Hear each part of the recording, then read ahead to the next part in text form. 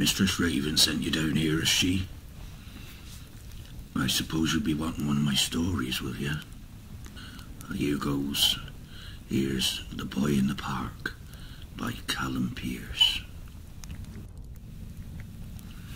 One thing that no human can stand is to go to their grave with an untold story inside them. If you have the right sort of ear, like I does, you can hear them whispering away. Some people walk past graveyards enjoying the silence or the rustling of nocturnal wildlife. I hears the clink of glasses or faint music from parties long since enjoyed. Sometimes the chatter of men in trenches as bullets and bombs fly past them. Ready, men? Or even the screams of those whose lives were cut short at the hands of another. Sometimes people's lives are cut short before they ever get to tell their story. Other times they hold it in all of their lives for fear that no living soul would believe them. I collect those stories from them that's passed on and Mistress Raven lets me tell them to you. You young uns who are brave enough to listen to the tales of the dead. The story I've got to tell you today is perhaps my story as much as anyone else's, as this is what brought me down here to the crypt. I realized it was my job to listen to those tales and pass them on.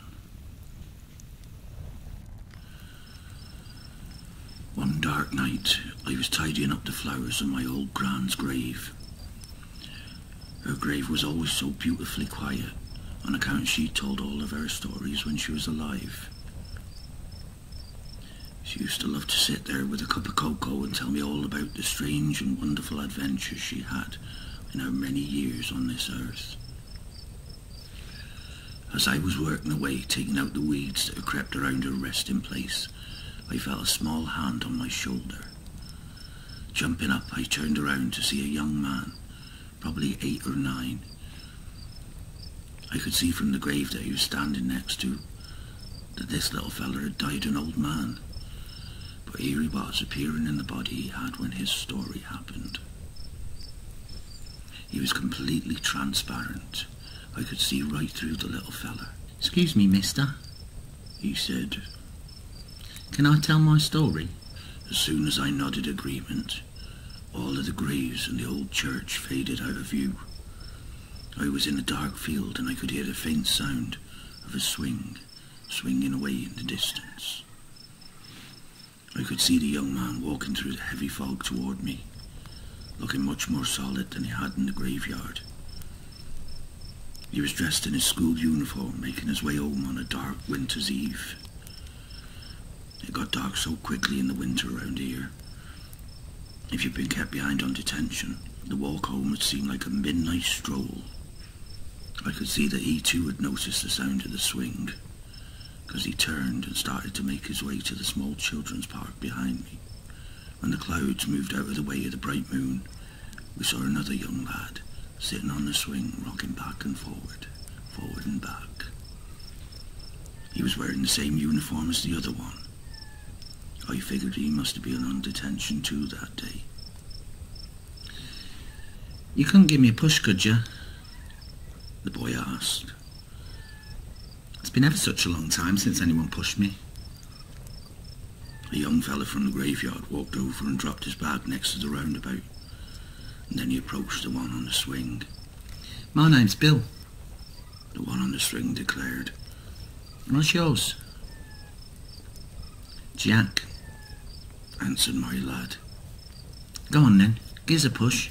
Jack got behind the young man and pushed hard. Bill swung his legs and kicked himself higher and higher, with Jack shoving him back the other way each time he returned. When he was as high as he could possibly go without swinging right over the top, he let go of the chains and jumped from the swing, landing giggling on the ground in front. Shall we have a go on the roundabout? He asked. Jack didn't have time to answer before Bill was running towards the old roundabout and jumping on. Jack ran behind him and grabbed the old thing, spinning it round and round before jumping on with him. It kept going round until Jack felt dizzy and sick, and then they both staggered off and waited until the world stopped spinning. Come with me. Bill said. I've got something to show you. Bill started walking back towards the road. He was walking so fast that every so often he would disappear in the fog until Jack and me could catch up with him. He stood by a tree next to the road, smiling. These are mine. He said, picking up some toys that sat in a pile at the bottom of the tree. When Jack was standing next to him, he could also see cards and bunches of flowers tucked in amongst the children's toys. Why have you put all them here? Jack asked. I didn't put me here. Bill replied. People leave them here for me.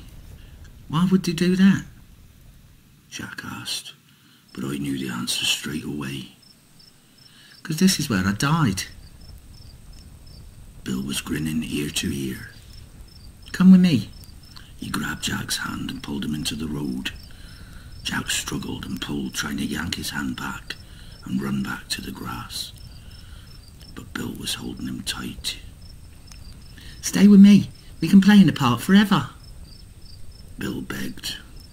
I'll get so lonely here night after night.